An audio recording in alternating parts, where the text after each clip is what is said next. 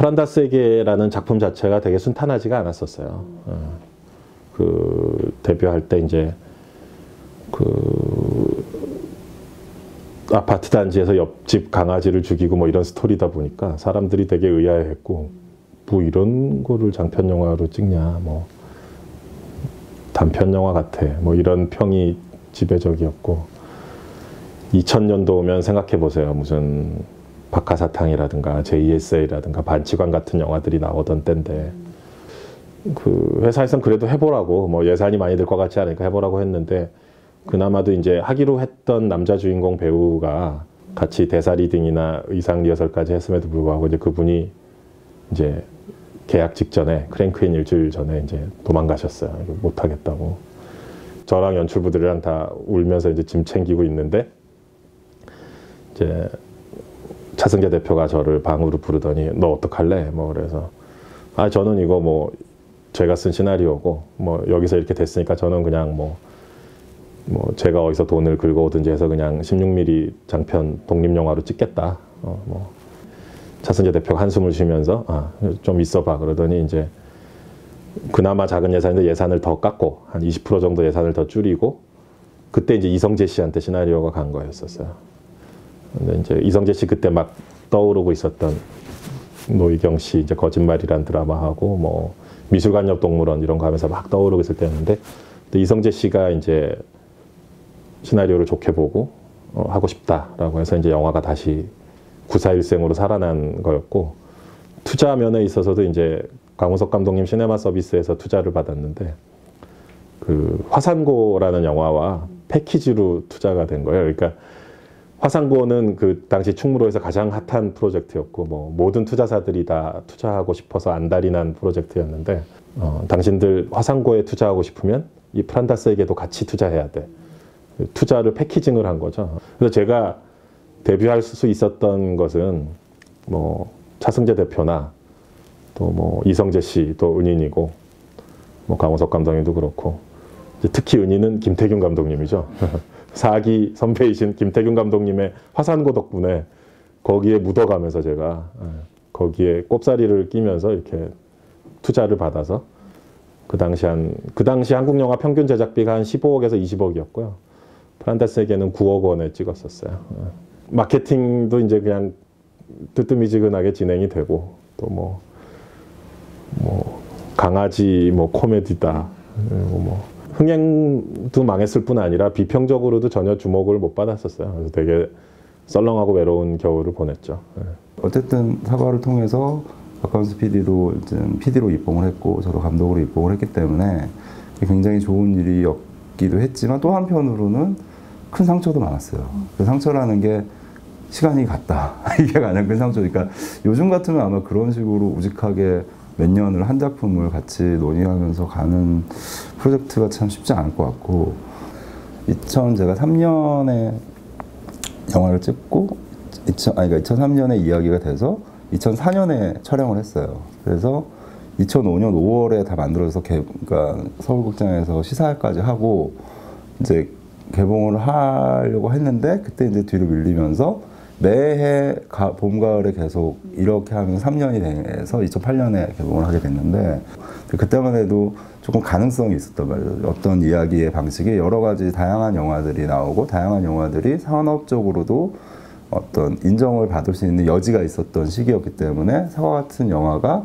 뭔가 이게 소구력을 가질 수 있을 거다라고 제작사부터 투자사 뭐 모든 사람들이 생각을 하던 시기였는데 점점 경제적으로나 영화적으로 각박해지는 시기를 가면서 어쨌든 다양성이 없어지는 시기로 가면서 결국에는 그런 시점에 개봉을 하게 되고 그러면서 이제 결과가 안 좋았고 저희 입장에서는 그거를 예측할 수 없잖아요 누구도. 과거가 그렇게 흘러가게 될지 미래가 그렇기 때문에 모든 사람들의 어떤 욕망이나 희망이 계속 그 작품을 그렇게 버티고 가게 만들었지 않았나 이런 생각이 들어요. 그래서 그거를 지금 돌이켜 내가 만약에 2000 뭐, 뭐그 당시에 다시 돌아갔을 때 너 그런 걸 할래? 그러면 아마 그런 조, 똑같은 조건이었다면 저는 했을 것 같고 또 똑같은 결과가 나지 않았을까 이런 생각이 드는데 전혀 베이스 없이 그냥 영화 하고 싶어 라는 그 부류의 한 명이거든요. 아주 대표적인 부류의 한 명이고 그냥 음, 언젠가 할 수 있지 않을까? 이건 한번 놓쳐본 적은 없는 것 같아요. 어, 99년에 졸업을 했으니까 2008년에 데뷔했으니까 거의 10년 만에 했죠. 10년 만에 했는데 음, 저는 만약 후배들한테 해줄 수 있는 얘기가 뭐냐라고 묻는다면 나도 했다. 사실 저도 되게 조바심 많이 냈어요. 예. 어, 선배건 후배건 혹은 동기가 데뷔하면 정말 기쁜 일이지만 아 나는 언제 하려나 정말 할 수 있으려나 너무 고민 많았고 아 그걸 버텨내는 시간 때문에 어, 되게 피곤한 일상을 짜증내면서 예.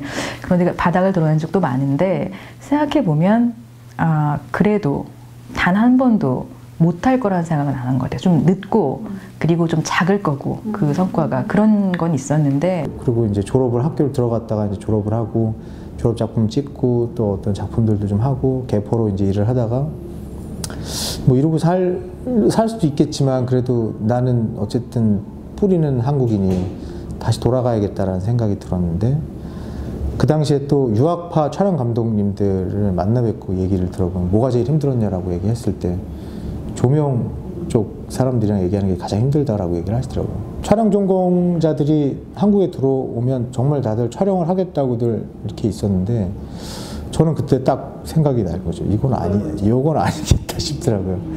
그렇게 했, 했지만 제가 개포 생활을 어차피 이제 돈을 벌어야 돼서 개포 생활을 하면서 빛을 다루는 재미가 있더라고요. 근데 그 재미를 느끼다 보니 아 이게 재밌는데 이거 계속 하고 싶다라는 생각이 들더라고요. 근데 이제 미국은 어쨌든 시스템이 이렇게 되어 있으니까 상관없는데 한국에서는 빛을 만지려면 조명을 해야 되는 거고. 그래서 제가 이제 그 권혁주 촬영관한테 전화를 해갖고 형 나 이렇게 해갖고 나 영화 하나 찍었고 졸업했고 일은 이렇게 이렇게 했는데 나 한국에 가려고. 근데 조명으로 가려 해. 그랬더니 잘 됐다. 나 지금 마라톤이라는 영화를 하려고 하는데 조명이 필요해. 네가 와서 할래? 이래가지고 오케이 이래갖고 와서 했어요. 데뷔를 그냥 뭐 유학 갔다가 와갖고 어 다녔습니다. 그리고 다시 딱 이제 딱 네. 어, 그, 임권, 임권택 감독님 서편제라는 영화 중에 뭐 그런 말 있어요. 그, 그, 오정혜 씨를 가르치면서 그 스승이 이거, 이거 네가 소리를 틔우면은 왕후 장상보다도 이게 더 좋은 거다. 어. 진짜로 네가 어, 그 안에서 정말 행복해질 수 있, 있다. 어. 진짜 원초적인 어떤 놀이로서의 희열, 어, 그런 게 보상으로서 있는 것 같아요. 예, 그걸 한번 맛본 사람은 이제 마약처럼, 어, 다시는 안 해, 했다가도 그게 이제 자꾸, 어, 그리워지고, 내가 하고 싶은 영화들이 계속 이렇게 생각이 나는 것들. 그러니까 난 이런 영화를 해보고 싶고 이런 영화 해보고 싶고 이런 영화는 없지 않았는가 뭐 그런 생각들이 좀 나쁘지 않다라고 스스로 어, 그러니까 그거는 뭐 착각일 수도 있지만 이제 중요한 건 미지의 영화 가보지 않은 길이기 때문에 착각을 할 수는 있지만 그 착각은 자기한테 힘을 주기도 하죠. 내가 이런 영화를 마- 뭐 이걸로 세계를 놀라게 할 거라든가 세- 뭐, 뭐, 뭐 이건 죽이는 영화를 만들 거라는 의미보다 이런 영화를 꼭 해보고 싶 내가 해보고 싶다는 게 있다는 거 그리고 그게 의미가 있을 것 같다라는 생각이 드니까 계속 어, 버텨 나갈 수 있는 힘이 되는 거죠. 그러니까 되게 설레요 지금도 그 그러니까 이런 얘기를 해야지라고 생각하는 순간부터 되게 억누를 수 없는 막 그 조울증이 시작이 되고 되게 행복했다가 되게 불행하고 그걸 왔다 갔다 하는데 사람들이 이래서 바람을 피는구나라고 뭐 그런 감정을 느끼기 위해서 바람을 피거나 뭐 이렇게 외도를 하거나 그렇잖아요. 근데 영화 자체가 그것보다 더 몇 배 더, 어, 더 사람을 흥분시키고 너무 너무 즐겁고 또 너무 불행하기도 하고 그 자다가도 벌떡 일어나서 계속 시나리오 쓰러 나, 나가고 막 이럴 때가 있거든요. 근데 저도 내가 미쳤나 싶을 때가 있어요. 이거는 부정적인 방식으로 선택을 한 거야 애니메이션을 그러니까 무슨 얘기냐면 잘 될 것 같아서 하는 게 아니라 다른 걸 할 수 없기 때문에 이걸 해야 되는 거예요. 난 이거에 묻히게 끌리고 이 좀 힘들더라도 이걸 할 수 하는 게 좋고 약간 이게 어, 마약 못 끊는 것처럼 약간 그렇게 담배 못 끊거나 그런 것처럼 그런 자세로 해야 편안해지면서 그러다가 좀 상황이 나아지고 아니 근데 오, 오래 오래 하면은 형편이 나아지는 건 맞아요. 그 수익이 늘어. 자기 또래의 자기 나이의 직장인들보단 안 돼. 형편 없이 안 되지 그거보다는. 근데 비교를 안 하게 돼. 괜- 하다 보면 편안해져. 왜냐면 좀 지내다 보면은 애니메이션 하는 친구 말고 영화 하는 친구 이런 애들 말고 다 없어져. 그러니까 주변에 다 그거 하는 사람밖에 없어서 별로 그런 생각이 안 들어. 하향 평준화돼서 이게 옛날 노, 농노들도 행복했다잖아 주변에 비교할 사람 별로 없으니까. 하나의 생각을 갖고 어, 앞만 보고 가면은 언젠가는 뭔가 이루어질 거라는 믿음이 있어요. 예. 그래서 사실 힘든 거는 내가 지금 지나면은 잊어버릴 수가 있잖아요. 그래서 사실 뭐 지금 눈앞에 있는 불안감들은 그렇게 저한테는 좀 중요하지 않았던 것 같아요. 이건 개인적인 성격인 것 같아요. 예. 세상에서 어떤 일도 저는 쉬운 게 없다고 생각이 들거든요. 그리고 그 안에서 내가 어떤 것들을 이루기 위해서는 그만큼의 시간과 노력이 필요한 것 같아요.